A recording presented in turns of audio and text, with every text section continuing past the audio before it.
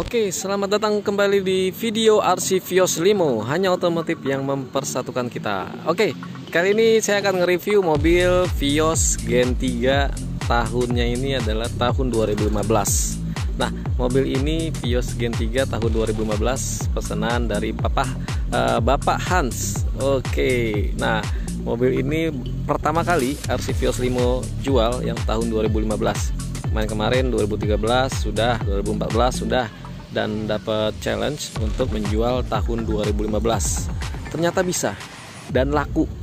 Oke mobil ini tahun 2015 oke jangan lupa like share subscribe nya dan tekan tanda lonceng agar notifikasinya muncul di handphone teman-teman ya.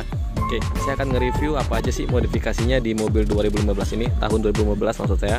Nah Oke dari tampak depan saya ingin menjelaskan untuk headlampnya kita masih original tapi seperti biasa saya pasangkan dia lampu led warna biru agar lebih manis-manis dikit lah. Oke.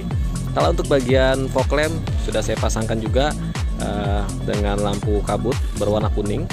Dia tidak pakai led. Dan kaca filmnya ini saya pasangkan yang 40% dan sampingnya 60% dia uh, merek 3M ya. Kalau merek 3M itu bahannya lebih tebal dan lebih adem di dalam kendaraannya. Oke. Nah, untuk bagian sisi samping saya sudah pasangkan velg HSR yang ring 16 dan bannya uh, ukuran 185 per 50 deh nggak salah. Dan velg baru bannya juga baru. Uh, cocok banget sih dengan kendaraan ini berwarna dark grey dan uh, velgnya berwarna silver. Oke. Okay. kalau untuk dari kaki-kakinya sudah saya ganti ya dan spion retract sudah saya pasangkan juga dan untuk handle-nya sudah saya modifikasi berwarna chrome biar tambah elegan. Terus uh, talang air yang berbentuknya slim oke. Okay. uh, elegan nggak ngebosenin sih. Mobil ini uh, mau sampai kapan pun kita pakai nggak akan ngebosenin. Model-model elegan untuk keseharian dipakainya enak. Dan antena sirip hiunya juga sudah saya pasang terus untuk bagian belakang nggak banyak perubahan. Paling sudah dipakaikan kamera mundur ya untuk apa namanya melihat uh, ke belakang. Dan stop lampnya masih orisinil nggak ada perubahan ya. Oke, kita masuk ke bagian dalam ya. Untuk bagian luarnya sudah saya infokan untuk modifikasi-modifikasinya. Oke, kita ke bagian dalamnya.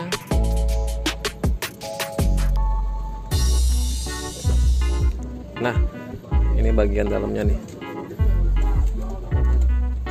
Oke, bagian dalamnya sudah saya modifikasi dari joknya ini sudah saya custom dengan konsepnya juga elegan berwarna hitam dan kecoklatan untuk bagian list-list dari sampingnya lumayan cakep pas dengan dashboardnya yang berwarna hitam. Jadi serasi banget ya. Terus eh, saya juga sudah pasangkan dia double din dengan sistemnya sudah Android. Karena sekarang sudah zamannya Android. Dan untuk bagian sisi sampingnya sudah saya pasangkan power window. Oke ya. Power window dan alarm juga sudah terus kita ke bagian sebelah sana ya. Nah kalau untuk unit 2015 ini ada perbedaan dari unit 2013 nggak terlalu banyak perbedaannya. Nah mobil Vios Gen 3 tahun 2015 ini dia dari joknya beda di bagian sisi pengemudi karena dia sudah ada yang uh, dia bisa naik turun. Nih dengan pengaturannya gini ya. Ini bagian untuk nyenderin bagian belakangnya ya. Kalau Gen 3 2013 kan dia hanya ada ininya aja. 2015 dia ada penambahan ini joknya. Oke. Terus untuk ke bagian dalam kilometernya di 287.000 ya. Di sini ada pengaturan AC sama seperti yang 2015 ini kisi-kisi AC dan ada tambahannya ini. Tombol ini berfungsi. Kalau anda kabut tinggal ditekan aja ini berfungsi. Oke ini tempat charging. Terus kotak ya. Oke sih. Nah kita coba tes ya jalan. Tapi kalau 2015 ini ditutupnya masih ah, masih empuk masih kedap. Oke kita uh, cobain mobil. Oke dari kaki-kaki enak empuk. Untuk koplingnya juga masih enak. Uh, mobilnya. AC dingin ya teman-teman ya. AC nya dingin. Kita coba jalan yang ada sedikit rusak. Nah kaki-kaki masih enak nggak berisik kita tes jalan. Central lock sudah. Terus eh, BBM nya ini satu banding 13 lah dalam kota. Tapi tergantung juga ya pemakaian. Kalau bermain di RPM tinggi dia pasti akan lebih boros. Oke itu aja. Saya tesnya. Kita kembali lagi tombol retract ada di bagian sisi kanan. Fog lamp juga ada.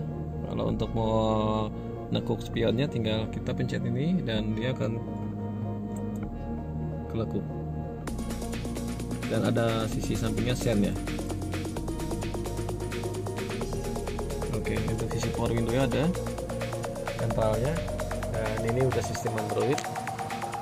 Ada radio. Ada youtube maps play store juga ada. Ya, jadi teman-teman kalau nyetel lagu bisa dikonekin ke uh, hotspotnya masing-masing ya. Kalau ini ada lampu ya. Sama sih kurang lebih sama. Oke itu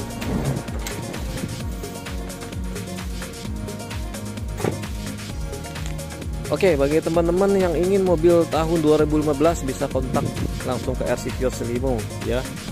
Ada nomornya di bagian deskripsi. Teman-teman tinggal WA, telepon, nanyain stoknya. Kita juga ada yang warna silver tahun 2015-nya ya. Oke, uh, itu aja review singkat saya mobil ini.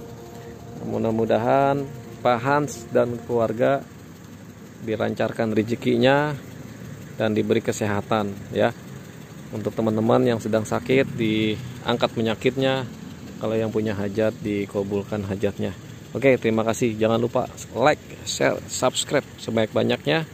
Uh, dan tekan tanda lonceng agar notifikasinya muncul di handphone handphone juga uh, di handphone teman-teman. Agar ngikutin terus seputaran video ekstraksi dari Bluebird. Oke terima kasih. Assalamualaikum warahmatullahi wabarakatuh